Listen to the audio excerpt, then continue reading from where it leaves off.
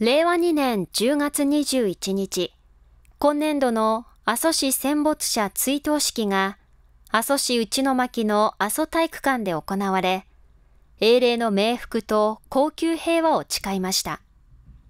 式には、遺族や市議会関係者らおよそ100人が参列し、まず戦没者の御霊に対して黙祷を行い、冥福を祈りました。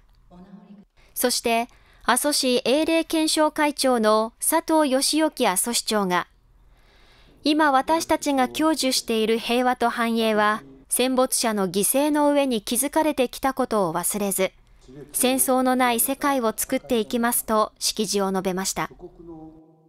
続いて、阿蘇市遺族会連合会の山部育三会長が、英霊の志を受け継ぎ、さらなる国づくりに励んでいきますと追悼の言葉を、さらに熊本県知事代理の浦田隆二阿蘇地域振興局長と湯浅誠市市議会議長の2人も追悼の言葉を述べました。最後に佐藤阿蘇市長、山部会長ら参列者たちが白い菊の花や持参した花を祭壇に手向けて、英霊の冥福を祈りました。阿蘇市によりますと、先の大戦で阿蘇市では1162人の方が戦場で亡くなっており、